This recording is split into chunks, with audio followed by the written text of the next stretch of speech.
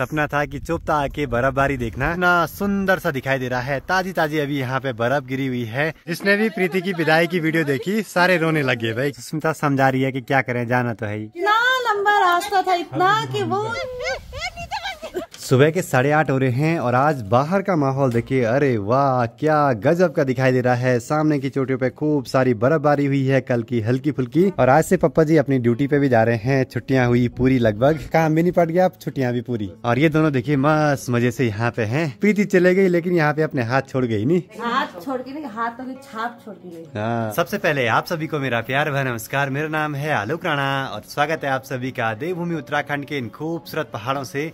अभी सुबह के करीब साढ़े दस हो रहे हैं और आज के दिन की शुरुआत भी हो चुकी है। और ये लड़की देखिए मैं ब्लॉग बना रहा मेरा ब्लॉग बना रही है। बाकी पहाड़ों पे देखिए बादल आने लगे हैं चोटियों में बर्फबारी भी हुई है। और मौसम भी काफ़ी ठंडा सा होने लगा है। और प्रीति देखिए बिल्कुल रेडी हो चुकी है। बहुत सुंदर लग रही नज़र न लगे किसी की। और आज आ रही है प्रीति स्कूल बहुत टाइम के बाद अपना सारा डॉक्यूमेंटेशन पूरा करने के लिए। क्योंकि इसका जो बीएड का कोर्स था वो भी लगभग अपने आखिरी चरण में है। पाँच साल से चरड़ी पे चल रहा माँ को कैसा लग रहा है आजकल? प्रीति के बिना भी बनाया बनाया नाश्ता मिल रहा है। बहुत अच्छा लग रहा है। आज घर जा रही वो तो बहुत सुन लग जाएगा।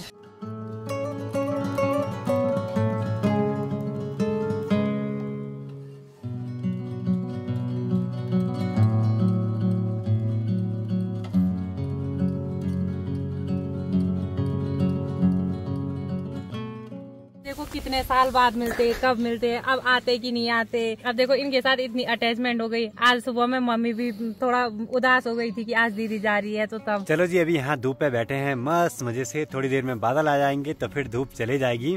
और आज भी प्लान चेंज हो गया है सुष्मिता का अपने घर जाने का। अब प्रीति का आज वैसे प्लान था देहरादून जाने का और सुष्मिता ने इनके साथ ही जाना था, पर क्या हुआ कि प्रीति का प्लान हुआ चेंज आंटी जी से परमिशन मिल गई है और प्रीति को घर जाना था आज, पर क्या करें? प्रीति रो रही है यहाँ पे तो सुष्मिता समझा रही है कि क्या करें, जाना तो है ही।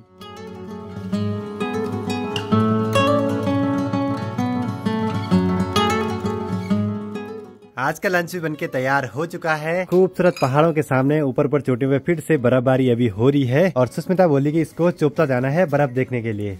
देखते हैं प्रीति लोग अगर हाँ बोलते हैं तो वहाँ ज़रूर जाएँगे अभी शाम के टाइम पे। उससे पहले जरा लंच वगैरह कर देते हैं। आज बहुत दिनों के बाद माँ ने बनाया है वह खाना नहीं तो पूरा सुष्मिता बना रही थी। माँ आज खाने में सब कुछ लाई लेकिन घी का डब्बा भूल गई है। अब हमको एक कहानी याद आ रही है। सुष्मिता बोली हमारे यहाँ भी कुछ कहानी है। क्या कहानी है? एक ना दामाद गया नए नए खाना खाने के लिए फ़र्स्ट टाइम तो उसके सास ने ना कुछ पापड़ या कुछ बनाया होगा तो रख, उसने ना ऊपर रखा बना के। तो अब वो दामाद को तो था याद कि वहाँ पे रखा हुआ है पर उसको दिया ही नहीं। तो फिर उसको कुछ तो करना था वो खाने के लिए। फिर उसने बताया इतना लंबा रास्ता था इतना कि वो जहाँ पे पापड़ लगा हुआ ना उतने से यहाँ तक उसने कुछ बोला। तो उसको याद आई ओ मेरे तो वो दिया ही नहीं। हमारे यहाँ कहानी है कि दामाद ने बोला वाले कि सासू जी आज मैंने इतना लंबा सांप देखा कि यहाँ से और वो घी के कटोरे तक बस। ऐसी भी कुछ कहानियाँ हैं माँ बला घी भूल गई थी। घर के ठीक सामने मधवेश्वर वैली के यहाँ पे और यहाँ पे इन पहाड़ों पे बर्फबारी हो रही है। सामने इस वाले पहाड़ पे भी बर्फ़ पड़ रही है। और कल चोपता घाटी और आसपास भी बर्फबारी हुई है तो वहाँ चलते हैं बर्फ़ देखने के लिए। और अभी शाम हो चुकी है शायद हम सनसेट के टाइम तक वहाँ पहुँच जाएँगे। और घर के नियरेस्ट जहाँ तक हम रोड से पहुँच सकते हैं चोपता ही है जहाँ बर्फ़ मिल सकती है अभी। और हमारे साथ चल रही है सुष्मिता प्रीति के हस्बैंड और प्रीति। माँ की तैयारी तो हो चुकी है पुराने घर पे जाने की। अरे मैंने गाय की पूछने एक बार। हाँ। गाय के लिए घास लाना। हाँ, सबसे मुश्किल काम है माँ का। और अगर किस्मत अच्छी रही ना इसको लाइव स्नोफॉल भी देखने को मिल सकती है। और सेटअप देखे भाई महँगे ब्लॉगरों के बड़े बड़े ब्लॉगरों के रोड के माइक हैं। ये लो आईफोन पहली बार ऐसे बे टाइम पे जा रहा हूँ चोपता की ओर। वहाँ से सनसेट ही दिखेगा अब।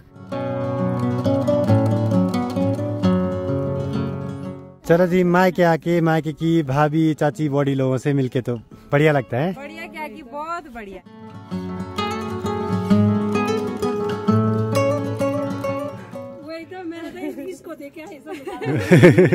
जिसने भी प्रीति की विदाई की वीडियो देखी सारे रोने लगे भाई क्या बोले अब? हो गई छुट्टी है के छ के छ हसो। बैठना होता है तो ये है जी अपना मनसुना मार्केट बाकी यहाँ पे थोड़ी बहुत ही कुछ गाड़ियाँ लगी हुई हैं अभी। और यहाँ से चोपता है लगभग 35 किलोमीटर के आसपास। प्रीति के हस्बैंड ने देखिए अपनी गाड़ी को कैसे सजा रखा है। और ये एक्स एक्सयूवी थ्री डबल का जो स्टेयरिंग व्हील है ना इस पे देखिए जैसे रेसिंग गाड़ी का होगा कुछ। कलरफुल कर दिया है। रेसर है ना। मेरे पति। रेसर एक घंटा जाने में लगेगा एक घंटा आने में लगेगा। एक घंटा हम वहाँ पे नज़ारों का आनंद लेंगे।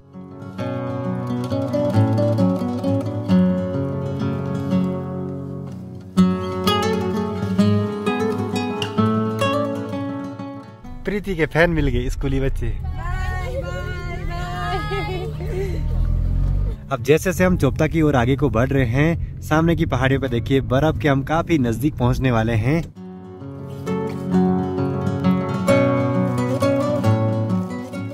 तो जैसे ही गाड़ी से बाहर निकले तो चारों ओर का माहौल देखिए, कितना सुंदर सा दिखाई दे रहा है। ताजी ताजी अभी यहाँ पे बर्फ़ गिरी हुई है। चुपता अभी भी यहाँ से तीन चार किलोमीटर की दूरी पे है। और साथ ही यहाँ पे सनसेट के टाइम की लालिमा बड़ी सुंदर दिखाई दे रही है। और नीचे सफ़ेद सफ़ेद सी बर्फ़।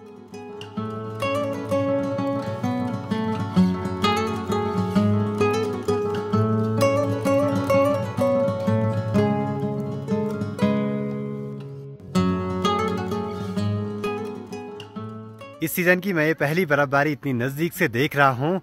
बहुत ही बढ़िया लग रहा है। ये ऊपर से देखो बर्फ़ फेंक रहे। बाकी ये देखिए बिल्कुल ताजी ताजी सी बर्फ़। कल ही यहाँ ये बर्फबारी हुई है और लगभग ना एक इंच के आसपास बर्फ़ पड़ी हुई है। चलो जी सुस्मिता का एक ही सपना था कि चुपता आके बर्फबारी देखना तो पूरा हुआ। पूरा हो गया। चलो बढ़िया है। आज वैसे इसको घर जाना था। अच्छी बात ये रही। आज नहीं मेरा तीन बार कैंसिल हो चुका है घर जाना। और ये तो बस मस्ती में लग गए बर्फ़ के बीच खेलने पे छोटे बच्चों की तरह है। ये बर्फबारी ना दिखने में अच्छी लगती है लेकिन इसके बीच ज़्यादा रहेंगे तो ठंड से हो जाएगी हालत खराब। फटाफट से टोपी पहनते हैं अब। दार्जिलिंग वालों की तो हालत खराब होगी भाई। अब ऐसे आ रखे चप्पलों में। चुपता जितनी बार आओ उतनी बार यहाँ के नज़ारे तो अलग ही रहते हैं। गर्मियों में अलग माहौल मानसून में अलग और आजकल बर्फबारी के टाइम पे तो बड़ा सुंदर रहता है माहौल। जिस चीज़ के लिए हम चोपता में आए थे फाइनली वो दिखी ही गई। इधर साइड ये बर्फ़ और सामने देखिए कितना प्यारा सा सनसेट हो रहा है। बहुत ही सुंदर था यही सब देखने के लिए तो हम यहाँ इतनी दूर आए थे। बड़ा सुंदर। गजब गजब गजब।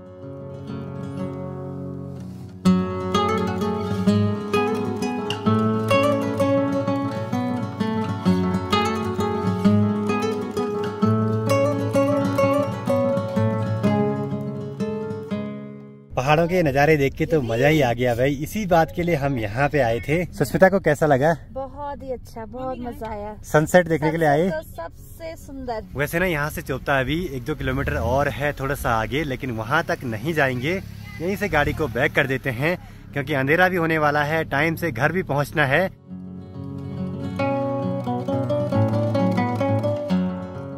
घर की ओर आगे बढ़ते हुए अभी थोड़ा सा रुके हैं, कुछ खा पी के आगे बढ़ेंगे और गाड़ी में ना तबीयत खराब सी हो रही है, घुमावदार रास्तों पे अजीब सा हो रहा है। और पिछली बार ना हमने यहीं पे लंच वगैरह करा था, जब मैं यहाँ चोपता वैली में आया था। ये हो रही है प्रीति की तरफ़ से पार्टी मोमोज पार्टी वाल। सुष्मिता को भाई यहाँ के मोमोज कहीं के पसंद नहीं आ रहे। क्योंकि खुद बनाने वाली है ना इसको पता है स्वाद। मैंने बनाया हुआ खाए ना। उंगलियाँ चाटते रह जाओगे? देखिए जी बिना आके तो यहाँ चोपता घाटी में काम नहीं चलने वाला है। बहुत ही ठंडा माहौल है। बाकी अब यहाँ से ड्राइव करके मैं जाऊँगा क्योंकि सर घूम रहा है गाड़ी में पीछे बैठने से।